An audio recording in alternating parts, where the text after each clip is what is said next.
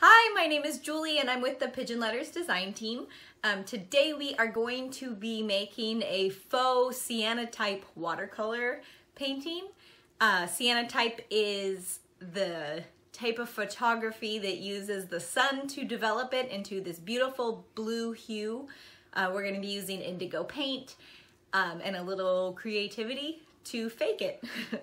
um, I hope that you enjoy this tutorial and I can't wait to create it with you. So this is everything you guys are gonna need. Um, it's not very much. Most importantly is going to be this indigo color. Um, I already have it here on my palette, but if you have not exactly that, you just wanna want to go with like a deep blue to really match that cyanotype. Um, I'm using kind of a big sheet of paper. This is 12 by 12. I just feel like it'll look cool. If you use a smaller one, um, you don't have to get such a large brush, but this is a 14 round and then a six round for the little details. Um, so to start off, I'm gonna mark it off on the edges with this painter's tape. Um, if you're using a smaller piece of um, paper, feel free to use a skinnier tape or washi tape or something. Um, this is just like a, a lot of real estate to cover. So I'm gonna go ahead and line that up. And when you use washi tape or painter's tape, um, stick it to your shirt or something, your jeans, your yoga pants if you're like me first. Um, and that's gonna help it not rip up your paper when you're pulling it off. Okay.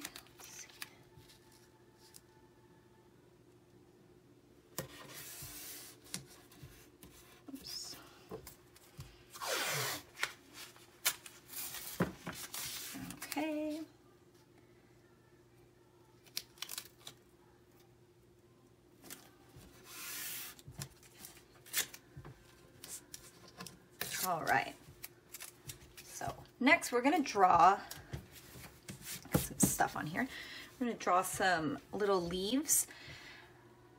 Try to leave these a little bit rounded, a little more organic. Uh, the way that the actual prints work is they kind of leave the lines a little fuzzy. So um, we don't want it too sharp, if that makes sense.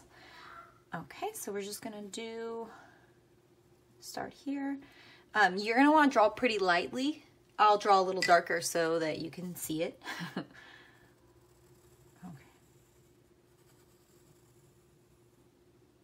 Um, normally, you might do like one line for your little stem. We're leaving this part white. So you're gonna wanna do both sides of it, if that makes sense. Just sort of curve it down. And you can always go back in and erase, you know, these little marks here.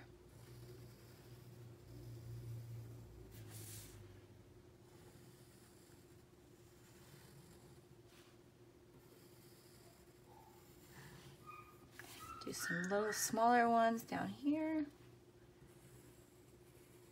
Okay.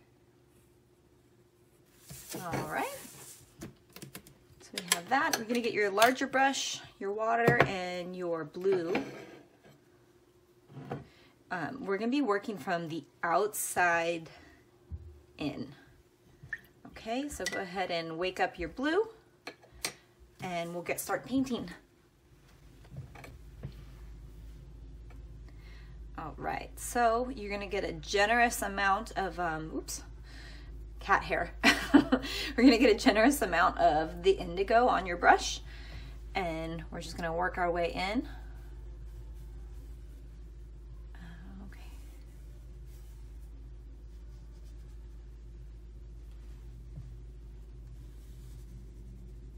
You can use a flat brush for this if you want. Um, I just happen to like round brushes a little bit better. Um, I feel like they spread it a little more.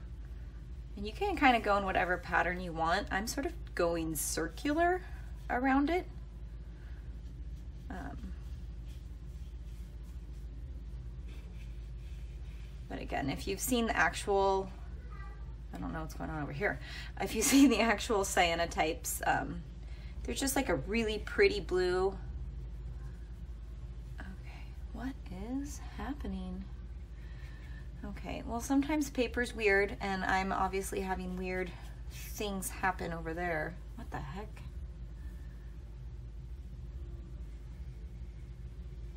It's weird. Not I'm not exactly sure what's going on with my paper. Please ignore me. I'm having a moment. I don't know. Maybe there was a little bit of um, soap or something in my water cup.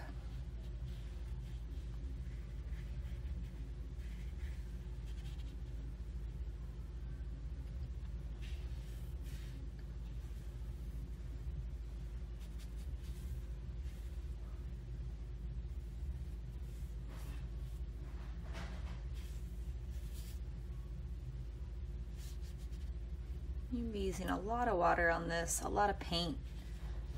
Um, and it doesn't need to be too perfect.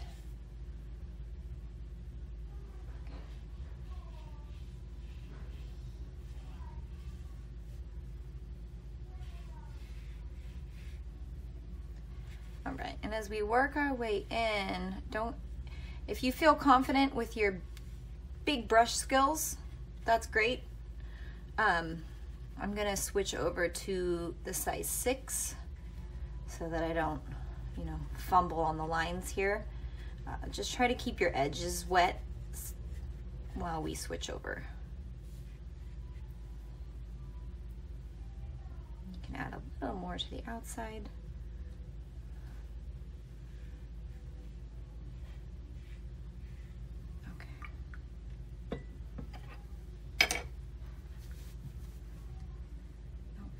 So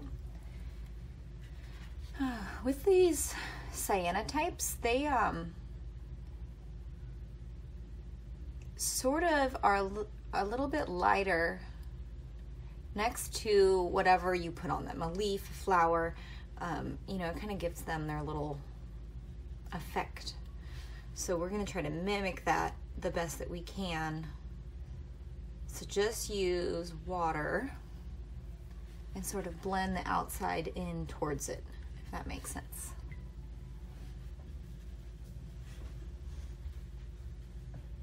We're funny.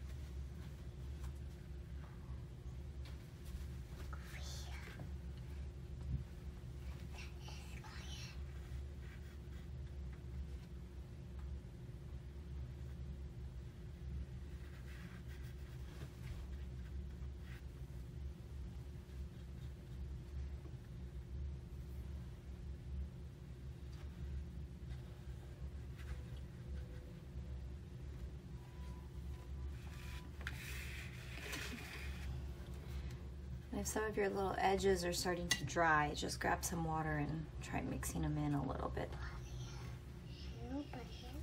If you hear whispering, that is my three-year-old doing her best at being quiet. she tries.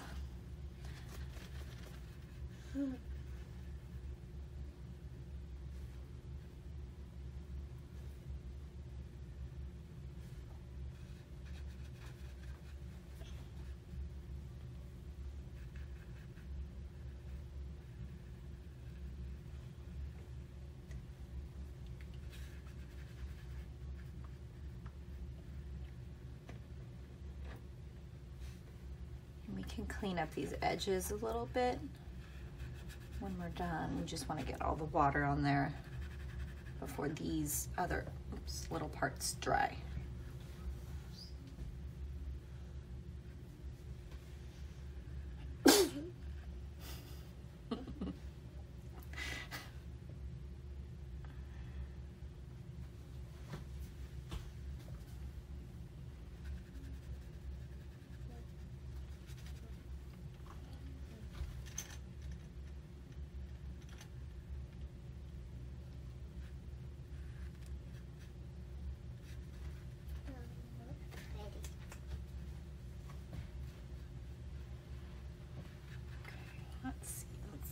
These up. So just really, really lightly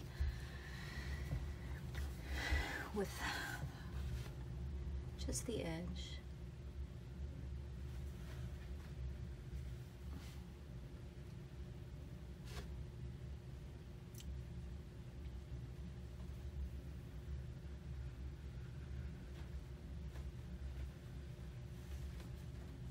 Sort of get in now the little crevices.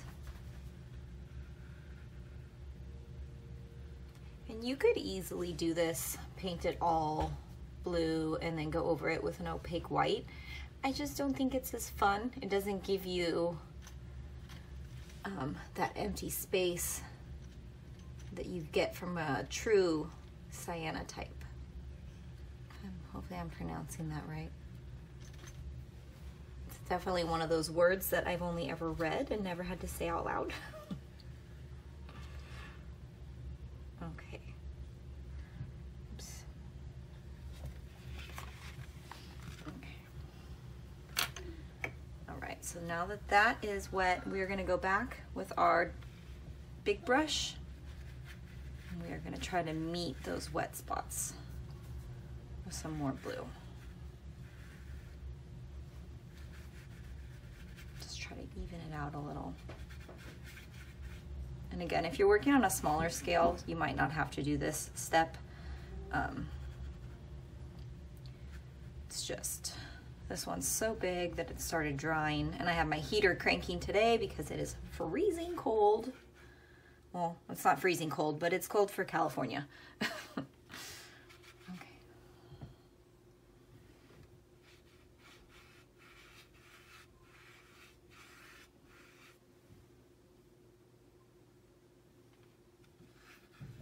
This is gonna be so pretty when it's all dry.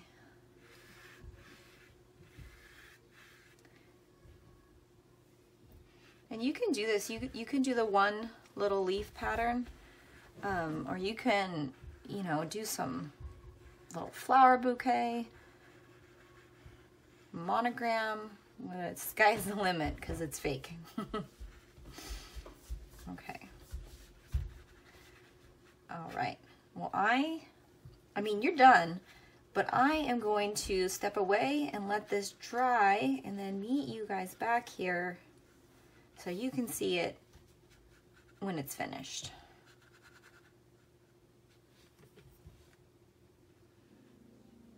All right, and I will see you all soon.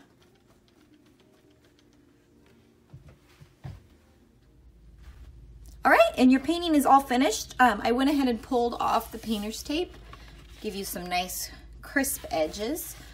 Um, but this is it. And I hope that you enjoyed this tutorial. Uh, please, if you try it, tag me on Instagram. Let me know what you think. Um, and I can't wait to see what you make. Thank you.